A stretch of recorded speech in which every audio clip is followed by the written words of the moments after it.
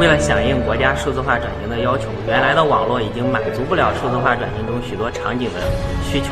所以近期中国联通推出了网络升级服务。在这方面，联通也做了相应的提醒：一是短信告知，针对这部分用户都有提前短信提醒；二是营业厅公示，在营业厅显著位置张贴公告；三是专人回访，联通专门配备了客户经理，一对一回访告知用。针对网络升级客户，我们也进行三项补贴政策：第一，购机补贴；第二，话费补贴；第三，套餐内资源补贴。在做好服务的同时，我们也争取做到让每一个用户满意。